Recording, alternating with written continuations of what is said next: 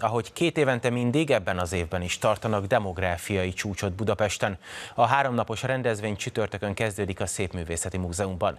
A világ minden tájáról érkeznek majd előadók. A kormány kiáll amellett, hogy a népesedési problémákra nem a bevándorlás, hanem a családok támogatása jelent megoldást. A demográfiai válság továbbra is számos országot fenyeget, a háború és az ebből eredő gazdasági és energiaválság pedig globális kihívást jelent a családok fizikai, anyagi és lelki biztonsága szempontjából.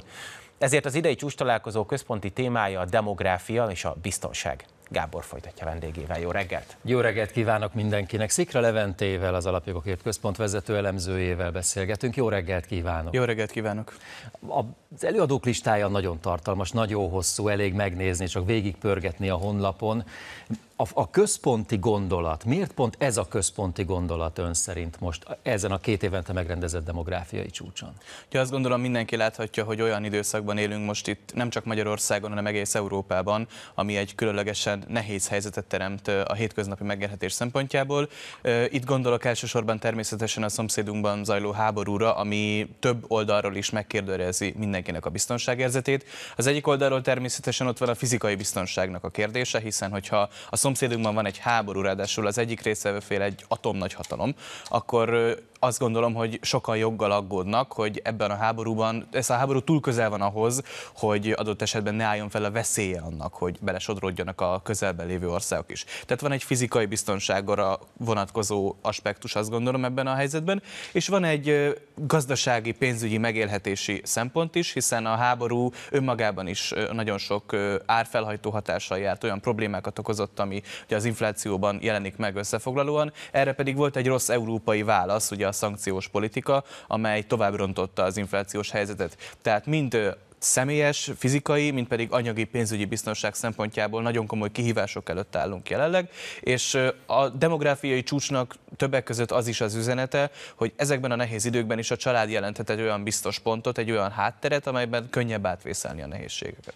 Tulajdonképpen azt is mutatja, ugye, hogy a fogalmi gondolkodást érdemes kitágítani olyan irányba, hogy ha demográfiáról beszélünk, vagy a modern demográfiáról beszélünk, akkor nem csak a születésről, vagy a születések szabályozásáról beszélünk, hanem hanem hát ahol élni kell, az az elemi egység, hogy ez egy összetett kérdés, hogy sokféle külső környezeti hatások hatnak rá.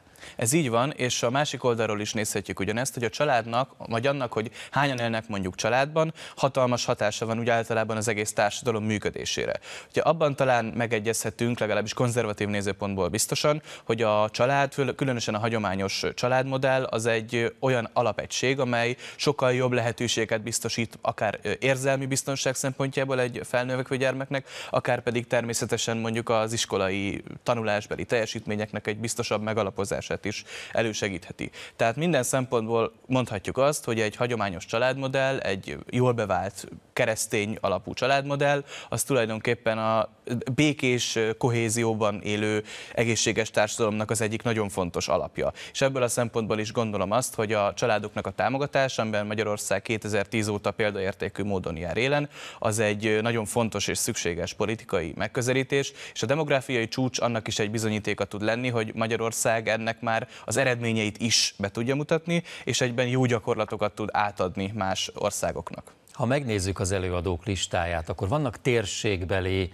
vezető politikusok Szerbiából például, vagy Magyarországról is, köztársasági elnök, miniszterelnök, Olaszországból. Tehát van egy ilyen térségi gondolkodás, és, és vannak hát nagyon nagy nevű fellépők, pszichiáterek. Mi lesz itt a közös tudás, a közös gondolkodás a három nap végén ön szerint? Valóban impozáns a részvevőknek, felszólalóknak a névsora. Ugye Novák Katalin köztársasági elnök asszonyt azért is érdemes kiemelni, mert a kezdetektől fogva ő volt ugye az ötletgazdája, szervezője ennek a rendezvénynek, és hát ez most is a, a köztársasági elnök szervezésében valósul meg. Ez ugye azért is fontos, mert éppen az ő személyéhez kötődik a, a magyar családpolitikának a legfőbb, legalapvetőbb kialakítása az elmúlt időszakból. És valóban nem csak politikai vezetők, hanem tudósok, szakemberek érkeznek a világ számos pontjáról. Azt gondolom, hogy ez egy nagyon jó fórum arra, hogy a politikai célokat, politikai értékrendi kérdéseket össze lehessen vetni, és össze, összhangba lehessen hozni szakmai szempontokkal, adott esetben, ahol, miről már szintén beszéltünk, hogy a lélektani vonatkozásai a családnak, de adott esetben az is, hogy mondjuk közgazdaságilag milyen támogatási modelleket éri meg bevezetni, melyeket nem éri meg fenntartani.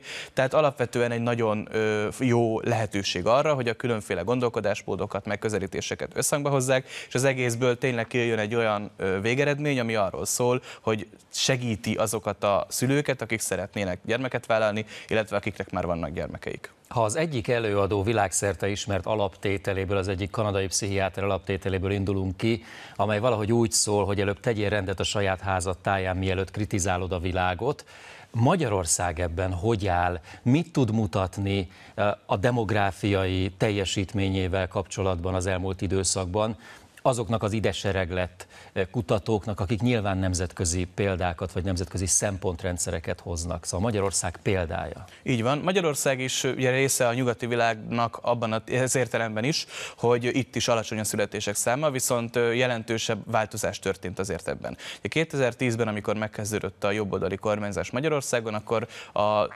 termékenységi ráta, amiről ugye azt szokás mondani, hogy 2,1-et érdemes célul kitűzni, hogy a két embernek átlagosan több mint két gyermeke van, akkor jön ki a 2,1, és 1,2 volt ez a szám Magyarországon, tehát hogy majdnem a fele a szükségesnek. És ezt sikerült az elmúlt több mint 10 évben 1,6-ra növelni, ami még mindig nem értük el a célt, ugye ezt láthatjuk, viszont jelentős lépést tettünk a cél irányába. Egy másik oldali megközelítés szerint azt is mondhatjuk, hogy több százezerrel lennénk kevesebben ma Magyarországon, hogyha nincs ez a családpolitika, ami 2010 óta zajlik Magyarországon. Tehát vannak kézzelfogható számszerűsíthető, érezhető eredményei a magyar családpolitikának, ugyanakkor még további lépések szükségesek ahhoz, hogy a népességnek az önfenntartását, tehát hogy ne csökkenjen a népesség, azt elérjük. Szikra Levente, köszönöm az elemzést, figyeljük a demográfiai csúcs köszönöm szépen fejleményeit. Köszönöm.